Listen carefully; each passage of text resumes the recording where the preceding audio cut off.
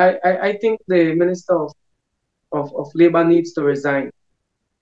Uh, he can't handle he, he can't handle that portfolio and he needs to give up that portfolio. Look, you, you mentioned the Prime Minister. I really don't know what the Prime Minister depends on.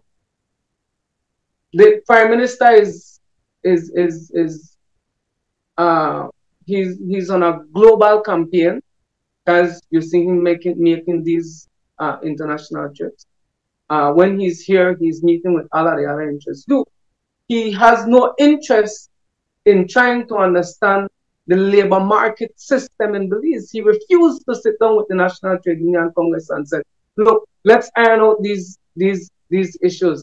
Uh, let's get the, the, the OSH behind us. Right? Uh, he so I, I don't understand. It, it, it must be this administration doesn't give a damn about labor. They don't give a damn about the workers.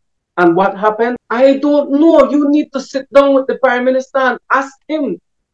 I, I can't tell you sit down with the minister of labor and ask him because I don't even think the minister of labor understand his his portfolio and the of labor. So I, I don't think you'll make any headway in speaking with him.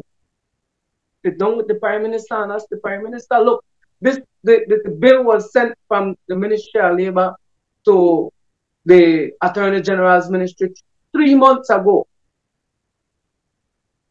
We wrote the Attorney General Ministry for an update.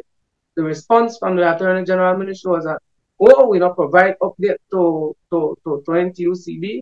And uh, we are, if, if we're to provide any update, we'll provide an update to the Ministry of Labor. So go to the Ministry of Labor for an update.